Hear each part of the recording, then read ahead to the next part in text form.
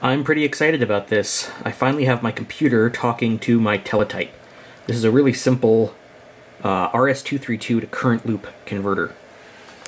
Uh, in the teletype world, data is sent via 20 milliamp current loop. What that means is that uh, when current is flowing, 20 milliamps of current, the teletype is in mark state.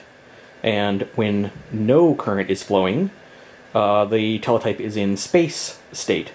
And that's uh, just the same as RS-232 uh, logic, but in RS-232, it's voltage, not current. So in RS-232, a mark is uh, negative 12 volts and a space is positive 12 volts.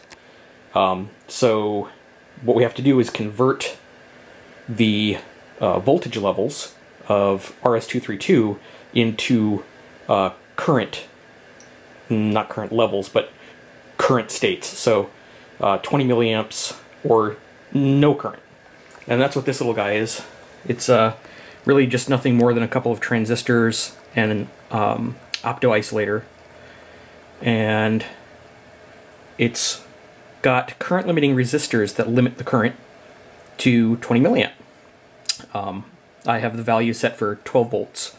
Um, and 12 volts just works out because then I can get away with um, fudging RS-232 on the receive side because um, most RS-232 cards will actually let you use 0 volts as a mark instead of negative 12. So I can use 0 volts and positive 12 volts. In theory, I haven't actually tried that yet. But anyways, let me turn this on. And uh, it's a little hard to see that LED is glowing, which means that right now current is flowing all the way into the teletype, back out here and completing a loop. Um, and that LED is in the loop, so it's getting 20 milliamps of current through it, and it's uh, quite bright. And over here I have my computer set up, and uh, this is 110 baud, 7-bit, um, one-stop bit, and mark parity, which is what this guy wants. And so now, in theory, with that turned on, I can put this in line mode. I'll come over here, and I should be able to type.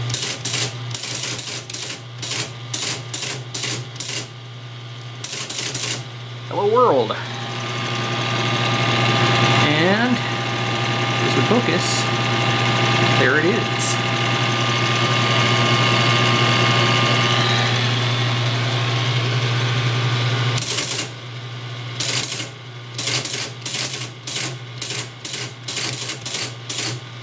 Oops, there's no backspace, so if I type AM instead of AN for anything, I'm just hosed. There's no backspace. Enter just sends the carriage back. And I need to do Control J for line feed. over here.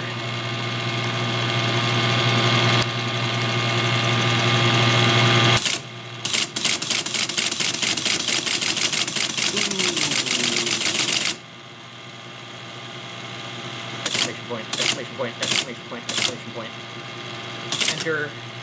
And where's my Control J?